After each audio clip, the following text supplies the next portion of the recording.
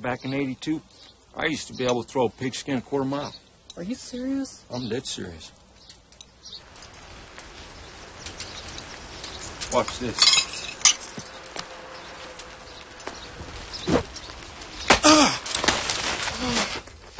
What the heck are you doing?